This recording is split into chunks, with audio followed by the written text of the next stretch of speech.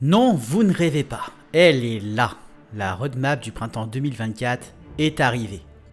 Et elle commence en grande pompe, puisqu'on attaque tout de suite avec la mise à jour majeure du 27 février. Intitulée Le Royaume des Songes, cette mise à jour vient avec trois chapitres d'histoire, une extension de la carte de Naos avec les environs de Niedra, et bien entendu de nouvelles maîtrises avec les maîtrises étendues de la garde astrale, qui nous aideront à explorer la région, mais pas que.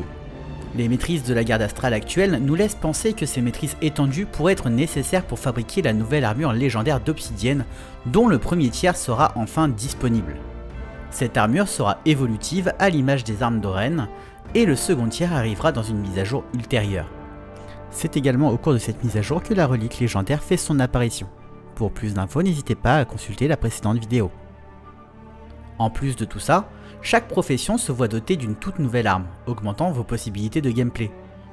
Petit bonus pour les rôdeurs, qui obtiennent par la même occasion un nouveau familier, le Tchak Céleste Belligérant. Ces nouvelles armes vous permettront de donner le meilleur de vous-même pour affronter le temple de Phébé qui se voit attribué d'un mode défi, et les convergences qui auront désormais deux boss supplémentaires possibles comme combat final. Beaucoup de choses en perspective pour cette mise à jour du 27 février, et la suite n'est pas très loin puisque la mise à jour suivante aura lieu le 19 mars. Cette mise à jour se concentrera avant tout sur l'équilibrage des compétences, mais apportera tout de même de nouveaux paliers pour le JCJ et le MCM. Ainsi, vous pourrez frimer encore plus grâce aux différents titres exclusifs que chaque palier vous offre, que ce soit sur le nombre de victoires pour n'importe quelle classe ou le nombre de joueurs que vous aurez massacrés dans les brumes. Pour les vétérans du JCJ et MCM parmi vous, notez que vos prouesses sont rétroactives et vous aurez donc directement les paliers dûment mérités. Les seigneurs de guerre du monde contre monde ont eux aussi droit à une petite mise à jour de leurs compétences, et pourront désormais se soigner si vous ne brisez pas leur barre de défiance à temps. Enfin, la maîtrise noblesse oblige ne soignera plus le malus de mise à terre pour les raids et les missions d'attaque en mode défi, afin d'augmenter légèrement la difficulté de ces combats. Mais qu'en est-il des différents événements à venir? La sortie du Royaume des Songes sera tout d'abord accompagnée par des drops Twitch jusqu'au 4 mars.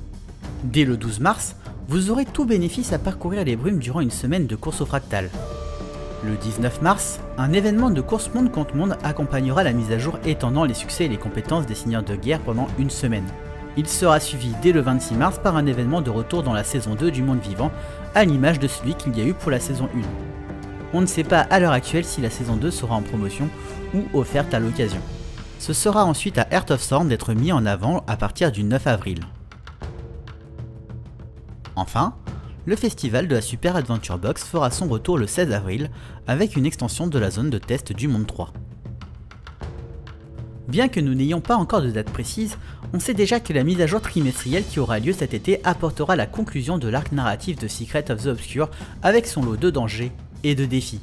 Une nouvelle fractale devrait voir le jour, sans oublier l'évolution de l'armure légendaire. On se retrouve très vite en iOS. Merci à tous pour votre soutien sur la chaîne et sur Patreon. N'oubliez pas de vous abonner, activer la cloche. C'était Mouki. Ciao ciao